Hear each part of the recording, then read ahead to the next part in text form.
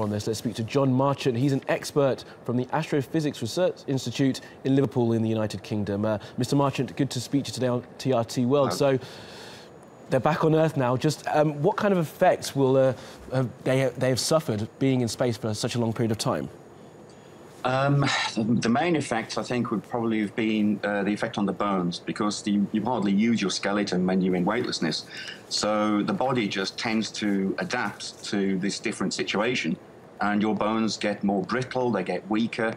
Um, in fact, a lot of the research that is, is going on to investigate the effect on the bones has a direct influence on uh, medications for osteoporosis, which affects older people on Earth. So there, there, are benefits both to astronauts and to us on the ground as well.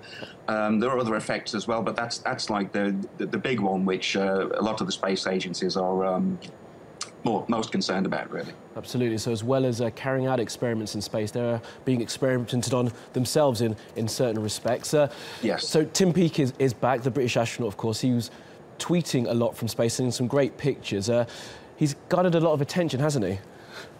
Yes, he has. Well, although he's not the, the, the, very first British person to have gone into space, he's the first sort of official government funded British astronaut.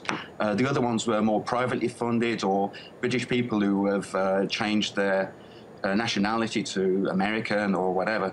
So this is the first like proper British astronaut that we've had. And um, these days, of course, uh, social media is, is uh, uh, much bigger now than it was years ago.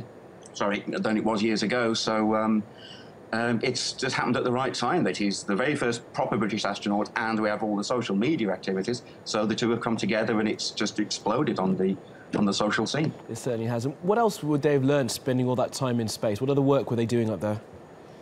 Um, well, they were doing a few experiments actually. Uh, one of them was um, investigating the effects of um, what happens when you um, make alloys, alloys of metal, um, because when you make it on the ground, um, the effects of gravity and the effect of the container that you have to hold the, the molten metal in sort of uh, distort the effects of what actually happens when, when the metal actually um, comes together and the, and the crystals of metal um, appear. And there's still actually a, a, lot that isn't known about exactly how that process forms. So by doing all of that kind of thing in weightlessness, you're taking two things out of the equation, taking the gravity, and you don't even need a container because they have this special facility to basically levitate a blob of molten metal in midair or in a vacuum and then watch it solidify. Mm. And that will answer a lot of questions.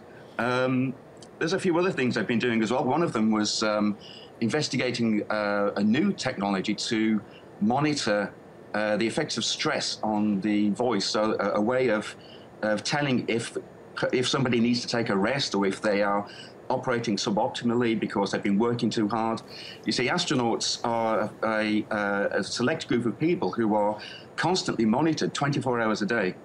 They have uh, biosensors all over their body. So they're actually a, a, perfect guinea pigs for this kind of thing. Um, and the, the uh, results from that will actually be able to be applied to people who well, other people who are working in high stress situations, like down mines or things like that. So um, that's a, that's another thing that they were working on as well, and a few other things as well. So some good value for uh, all the billions that were spent. Uh, yeah. Uh, Jon Marchant, we have to leave it there. Thank you very much for your time on TRT World. Thank you. Okay.